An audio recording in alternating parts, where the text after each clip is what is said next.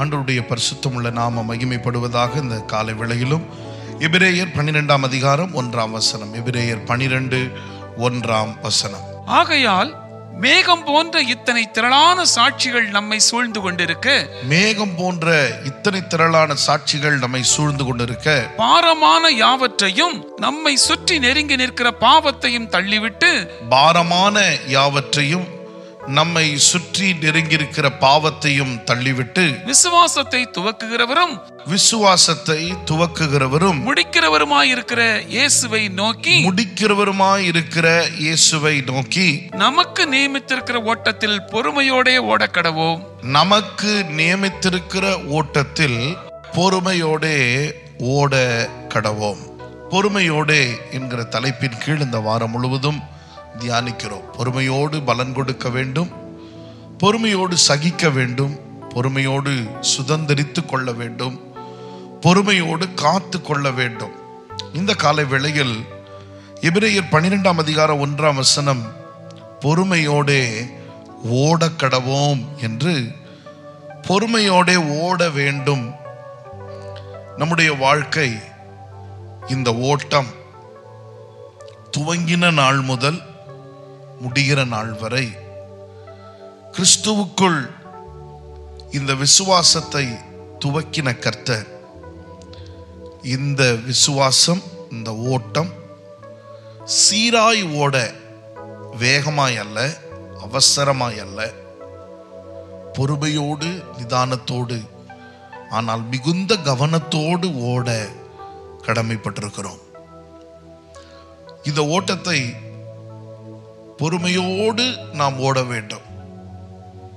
அநேகர் வேகமாக ஓடி முடிவு வரை ஓடி முடிக்காமல் பாதியில் விட்டவர்கள் உண்டு. இந்த ஓட்டத்தை பொறுமையோடு ஓடுவதற்கு காரணம் முடிவு வரியந்த நிலைநிற்பவன் தான் ரட்சிக்கப்படுவான். எவ்வளவு வேகம் ஓடுகிறோம் என்பது இந்த ஓட்டத்தின் பந்தய பொருள் அல்ல. எவ்வளவு அவசரமாய் ஓடுகிறோம் என்பதும் அல்ல. இந்த ஓட்டத்தின் பந்தய பொருள் முடிவிற்கு வருகிற எல்லாருக்கும் உண்டு. முடிவு எல்லையை தொடுகிறவர்கள் அத்தனை பேருக்கும் உண்டு. எனவே இது பொறுமையோடு ஓட வேண்டிய ஒரு ஓட்டம்.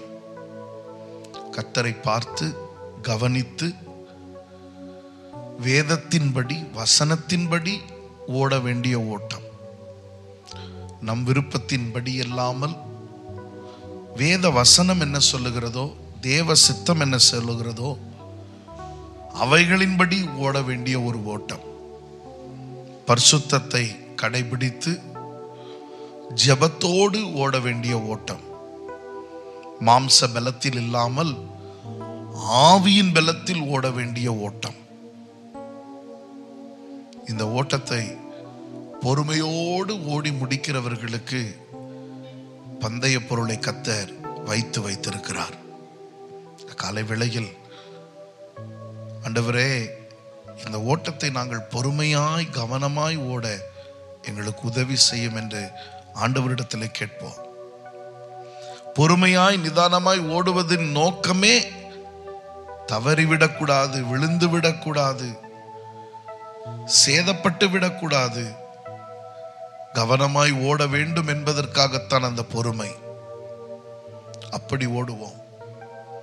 இந்த ஓட்டத்தில் யாரோடும் நமக்கு போட்டி இல்லை. அவரை முந்த வேண்டும் இவரை முந்த வேண்டும் என்கிற போட்டி நமக்கு இந்த ஓட்டத்தில் இல்லை. இந்த ஓட்டத்தின் போட்டியே லக்கை வந்து அடைய வேண்டும். பொறுமையாய் நிதானமாய் ஓடி லக்கை அடைய வேண்டும். நாம் யாரையும் முந்தவும் அழைக்கப்படவில்லை. வேகமாக முடிக்கவும் அழைக்கப்படவில்லை.